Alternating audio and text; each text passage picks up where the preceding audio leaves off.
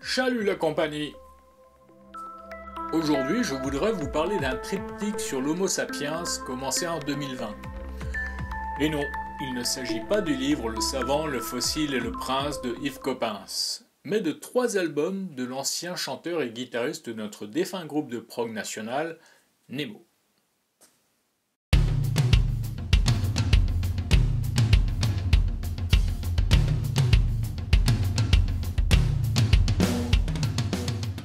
Sapiens est un concept album sorti en trois temps.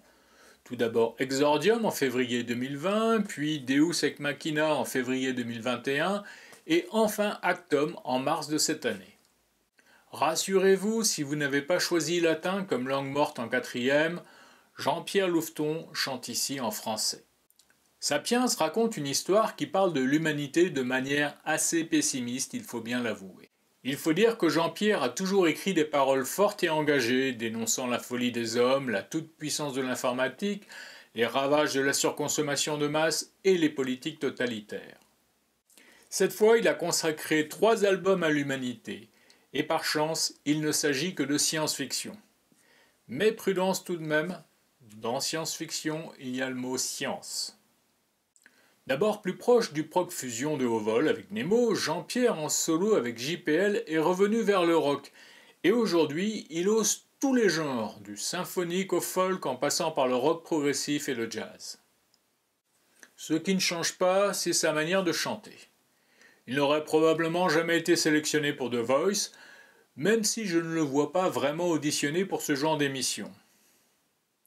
Après, cette voix particulière donne une fragilité et une colère froide qui collent à merveille au texte.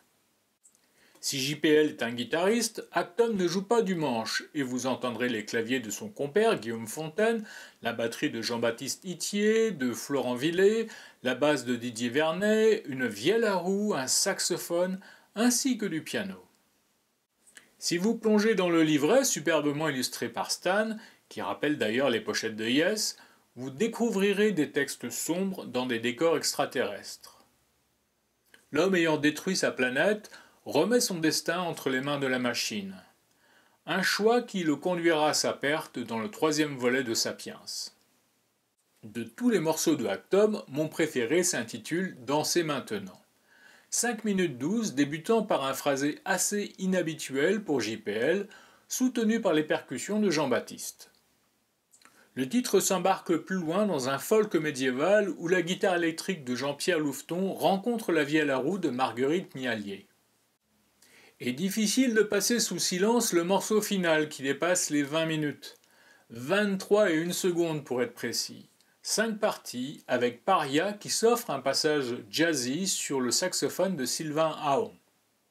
Actum clôt la trilogie de Sapiens, un album relativement raccord avec les deux précédents qui possède les mêmes qualités, mais également les mêmes défauts. Sa production serait perfectible avec un rendu assez confus et métallique, et les orchestrations, comme dans Marche vers l'inconnu, me semblent toujours un petit peu légères. Après, tout le monde n'écoute pas les œuvres symphoniques de Stravinsky ou Rachmaninoff entre deux albums de rock. Lundi prochain, nous quitterons l'Auvergne pour l'Ukraine en guerre. D'ici là, faites vos réserves et planquez-vous dans votre abri anti-atomique. Allez, salut